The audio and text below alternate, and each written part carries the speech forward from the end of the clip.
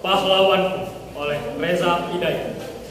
Pahlawanku, bagaimana aku bisa balas jasa-jasamu yang telah kau untuk bumi pertiwi? Haruskah aku turun ke medan perang? Haruskah aku mandi berlumuran darah? Haruskah aku tertembak peluru penjajah? Aku tak tahu cara untuk membalas jasamu.